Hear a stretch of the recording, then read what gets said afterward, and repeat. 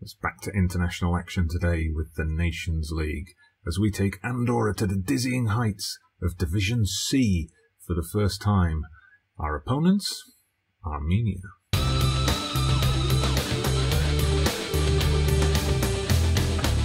Hello there, everybody. Welcome back to the channel. Welcome to yet another episode of Andorra Andorra, the double challenge, in which I take charge of the club FC Andorra and the country Andorra and try to lead them both along the road to glory. Well, last time you were with the national side, we suffered that disappointment in the European Championship playoffs, heavy defeat to North Macedonia. We bounced back a little bit, organised ourselves a couple of uh, straightforward friendlies. We got a 2 0 win over Luxembourg in June, followed up by a tough 2 2 draw away to Kosovo. All of that ahead of the Nations League returning uh, with us in Division C. And this is our group. Armenia, who will be our opponents today. We've also got Bulgaria and the aforementioned Kosovo, the friendly, of course, being arranged before the Nations League groups were drawn. So we'll see what we can do. The board, or the FA, I keep calling them the board in the international game, the FA want us to fight bravely against relegation. I don't think promotions on the cards. That's Bulgaria's. But, you know, we've got to see. Can we finish second or third? And today's game will go a long way towards telling us that Armenia are favourites for this one. But we've got odds of 12 to 5. We'll take that.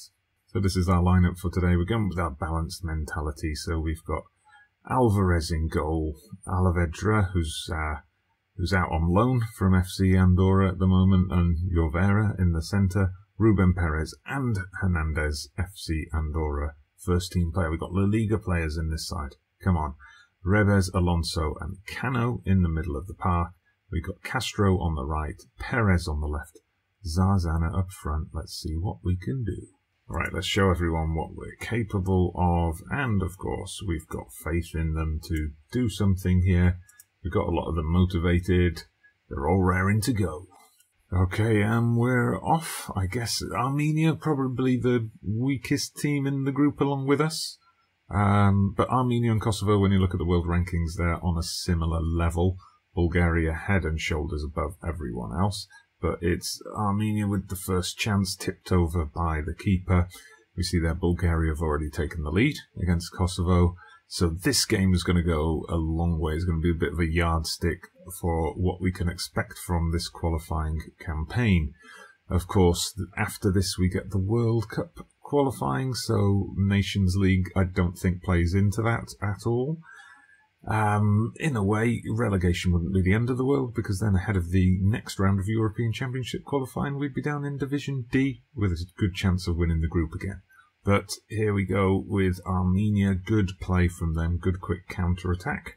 But the shot goes wide. We're building patiently from the back. Um, ooh, nice ball out to Perez. He's got Hernandez on the overlap who cuts it back inside. Interesting. We're trying to switch the flanks, but it doesn't work. And we've only succeeded in giving the ball away. And now Armenia. Oh, way too much space there for Lucho. The luchador smacks one in. He should be wearing a mask. And we're getting to half time now with a second chance for them, but it was. Ah, we've given away a penalty. I thought we'd won a free kick. We've actually given away a penalty. One of those frustrating things where you think we just need to get to half time, and if it's only 1 0, we can do something, we can make some changes. And now Armenia are 2 0 up. Not good. Well, my centre backs are both having a decent game, but everyone else is around that 6.4, 6.5 level we've got to kick on in the second half. Again, we get highlights starting with us playing it out of defence.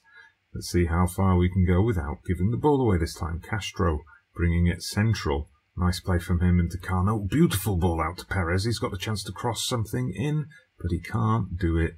And here comes the break. Perez, of all players, He's the best player in the squad. He should have been able, oof, luckily they miss, he should have been able to supply Zarzana with a decent cross there. Right, making a substitution, Castro's picked up a knock, so we're going to take him off. It says he here an arm injury, so he could play on, but we might as well give Gonzalez the game time. Also going to bring on Gomez, our star player from Andorra. One little bit of transfer news with him. I wouldn't normally go into FC Andorra business on an international episode, but Atletico Madrid tried to activate his release clause on deadline day. He had a £3.5 million release clause. They swooped in for him. So we just went straight out there, offered him a new contract, which luckily he accepted, choosing us over Atletico Madrid. So um, I like him even more now. Right, here we go. We've got a chance. Hernandez got the ball. He whips in the cross, and the header from Cano just goes over the bar. That's our best chance so far, we've got to say. All right, another throw in for us this time on the right. Dangerous position though. Armenia are pressing us with their three strikers up front there. Overpowered tactic. But we've got it out to Hernandez. That's where we need to go. Down the left. Long ball up to Zarzana. Zarzana can't hit the target. All right, final 10 minutes. Can we salvage anything or is this going to be a bit of a waste of an episode? Perez. Oh, we've got something. Gomez with his first goal for Andorra right at the death. Oh, he sprints back with it. It's, it was Perez who whipped that in. Gomez, the goalkeeper made a hash of it. Gomez free header at the back post. Right then, you know what we do here. We just go all out. So, very attacking. We need to make a substitution, I think. Right, so Lega comes on for Canes because Lega can play can play up front. So we're going to put him on attack. We're going to put Alonso also on attack. Right then, so we're pushing right up. We're going to do long balls over the top of defence. We'll put on counter press as well. We want early crosses, shoot on sight, everything, all out attack. Let's see if it does anything for us. And we'll just add in a push forward here as well. And then let's see. Eh, we're probably just not going to get any more highlights. Well, there you go. At least we made a match of it in the end. I think we were better in the second half. A few tactical tweaks at half time did the trick.